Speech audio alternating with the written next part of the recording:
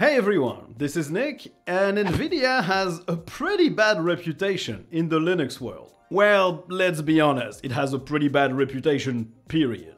You often read horror stories about how nightmarish it is to use Nvidia on Linux, how things break, and how AMD is a much better choice.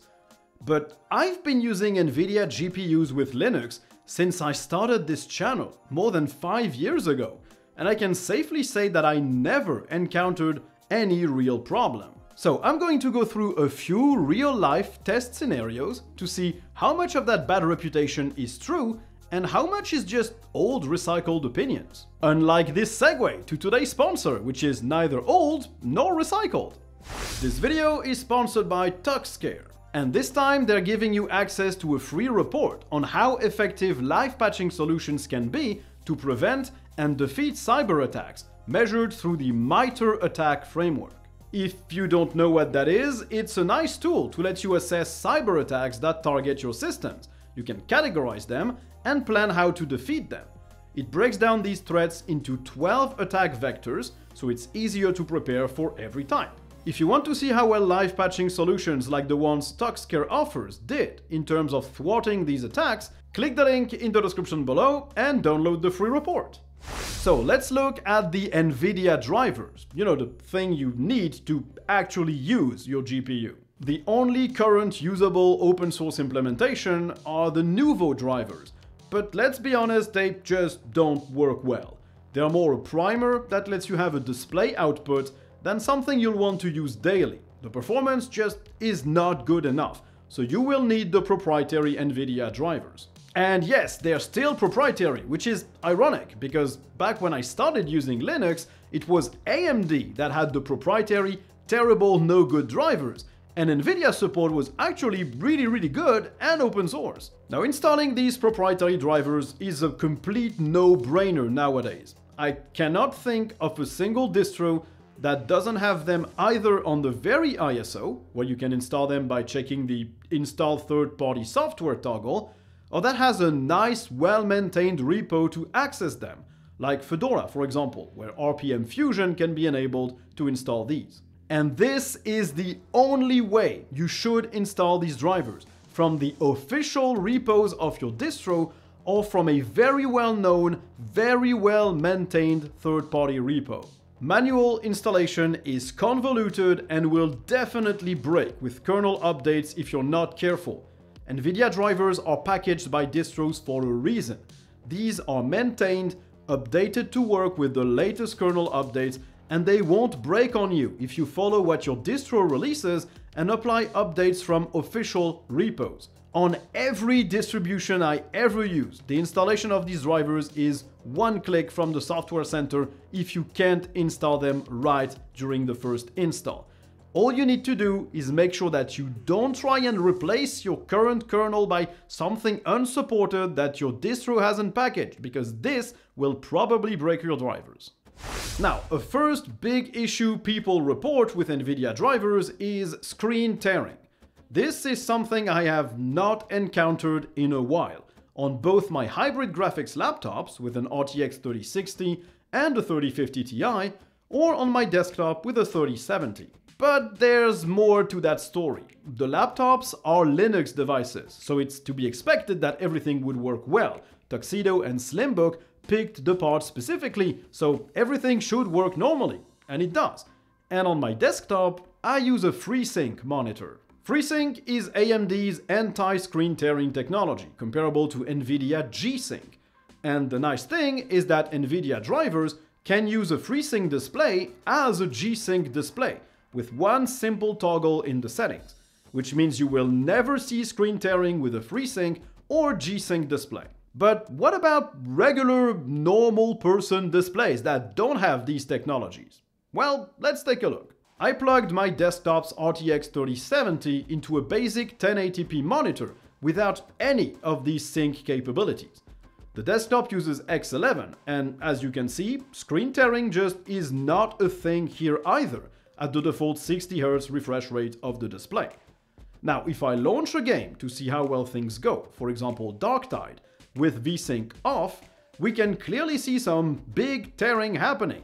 with VSync on, it disappears. So, screen tearing does not look like a problem anymore, but if it still happens to you, or if you really hate VSync, you filthy pro gamer, here is how you can get rid of it. You can just auto-start a command when your computer starts with the following command line. NVIDIA-settings-assign current meta mode equals NVIDIA-auto-select plus 0 plus 0 brackets forceful composition pipeline equal on brackets. And yes, I left that command in the video's description. I do not expect anyone to have to type this. Add that command to your startup applications, and you're done. It will turn on the forceful composition pipeline option of the NVIDIA drivers after each reboot, and this gets rid of all screen tearing.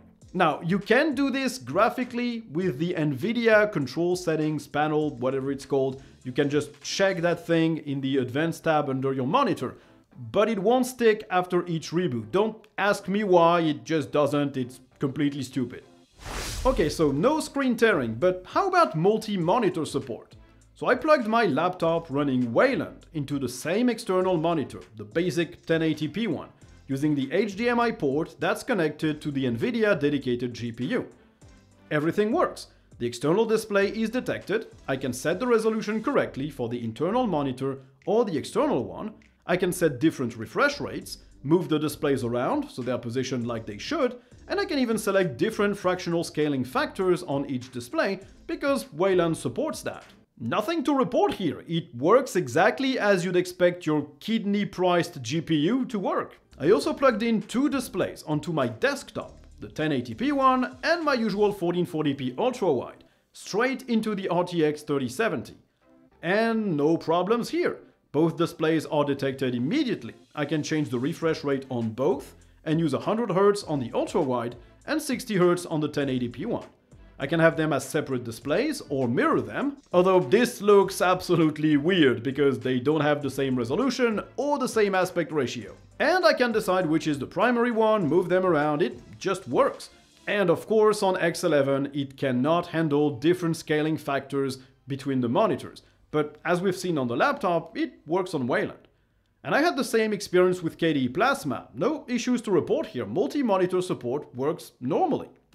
Now, another thing people tend to hold against NVIDIA drivers is the hybrid graphics support on laptop, as in you have a laptop with a dedicated GPU from NVIDIA and an integrated GPU from AMD or Intel. Now, I don't own an AMD plus NVIDIA device, but I do have two laptops that have an integrated Intel Xe graphics chip and an NVIDIA GPU. So let's start with the laptop running Wayland. And yes, don't worry, if you stick around for a little bit longer, we'll talk about Wayland support. So how well does hybrid graphics work on Wayland? Well, perfectly, on this laptop at least. It runs Fedora 37, and on Wayland it seems that hybrid mode is the default. And it's the only mode you can use, I could not find a way to move it back to the Intel GPU only or Nvidia only. Which means battery life will not be optimal, of course, because even when you're not using the Nvidia GPU, it's still awake and is still going to draw a little bit of power. So hybrid mode works perfectly. You can right-click an app and decide to run it using the dedicated GPU, or just run any other app, which will use the integrated GPU. Some apps will automatically use the NVIDIA card, like games, some won't, like DaVinci Resolve, which needs to be run with the right-click option. On X11, the experience is pretty much the same. Hybrid mode is the default, and you do get a bunch more options in the NVIDIA control panel. You do lose fractional scaling enabled by default, at least in GNOME. You'll have to enable it in dconf. And you also lose touchpad gestures, but these things are not linked to NVIDIA drivers, it's just that X.org sucks in that regard. And yeah, okay, don't get mad, it's more like desktop environments never bothered to implement smooth one-to-one -one gestures on X11, even though Elementary OS proved that it can be done. If you want to switch profiles on X11 in GNOME, you can install the GPU Profile Selector extension and the NV Control application to get a quick settings menu that lets you switch between various GPUs. On KDE, I don't think there's a way to switch by default, although OpenSUSE has an applet for that called SUSE Prime, and there's a third-party app called Optimus Manager you can also use. It only seems to work on X11 though. On Wayland, even if you select another GPU, when you reboot it will still be in hybrid graphics mode. And in all cases, if you change the GPU, you need to reboot, but that's the case with every other GPU vendor on Linux, as far as I am aware. Now let's talk Wayland support, and Nvidia has the reputation of not working under Wayland, but that's not true anymore. As demonstrated before, it works just fine. I've been using it on this laptop for a while now, on Fedora. I never used X11 on this laptop since I installed Fedora 37 on the day of its release, and it's even the default if your GPU is recent enough. Everything works as it would on a normal Wayland session.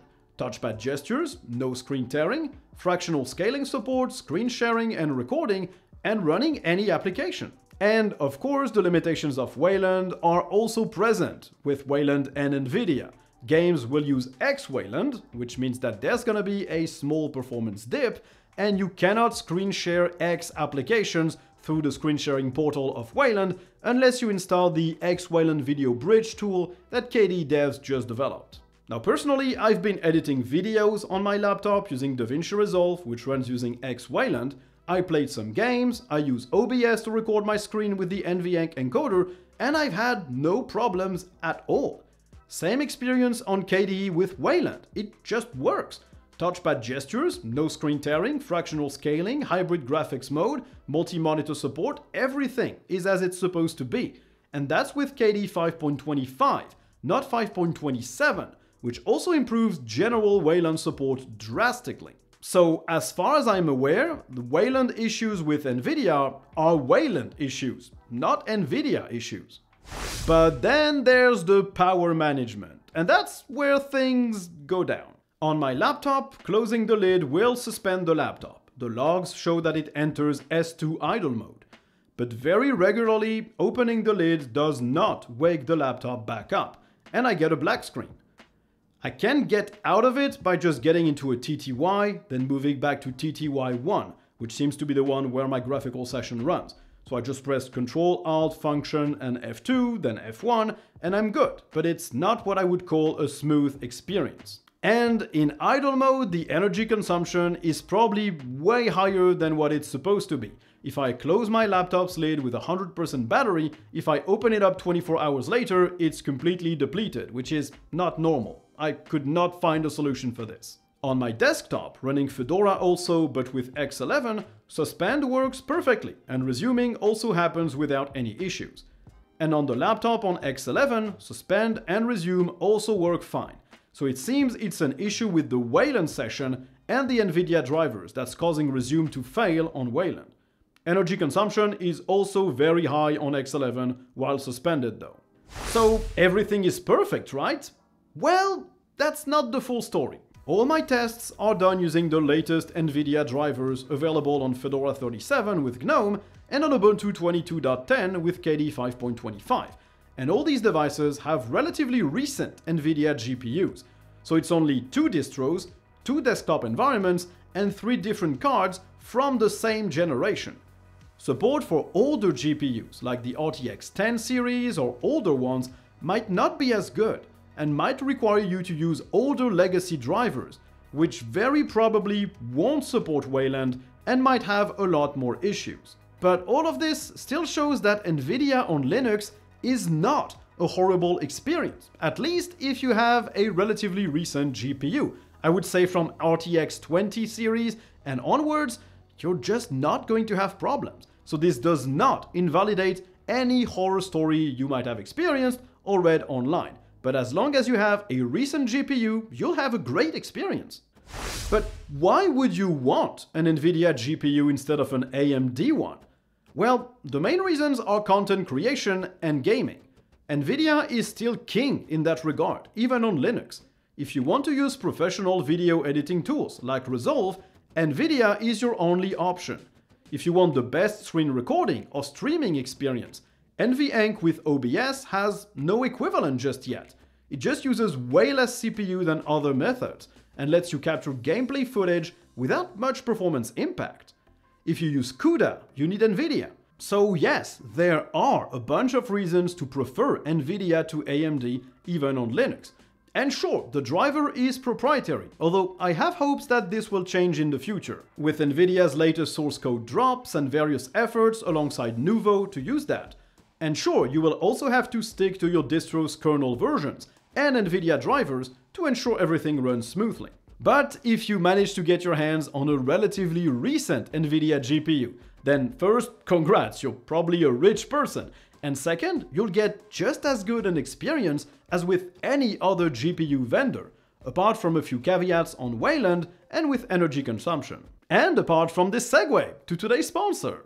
If you're looking to buy a new device and to run Linux on it, stop looking at Windows computers and hoping that your favorite distro will just run well on it, because that's just a headache. Buy something that was designed specifically for Linux and remove all of those issues. Tuxedo makes laptops and desktops that do just that. They run Linux out of the box. The components were picked specifically because they're compatible with Linux.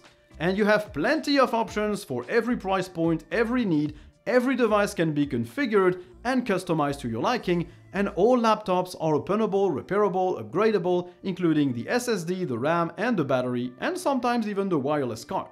So if you need a new computer, stop bothering with Windows computers buy something from Tuxedo in the link in the description below. So, thanks everyone for watching the video, I hope you enjoyed it. If you did, don't hesitate to like, to subscribe, to turn on notifications, to write a comment, and if you didn't, well you can always dislike it, and tell me why in the comments as well. And if you really enjoy the channel and you want to support it, well, there are plenty of links in the description as well for my social networks or for Liberapay, PayPal, Patreon, YouTube thanks, YouTube memberships.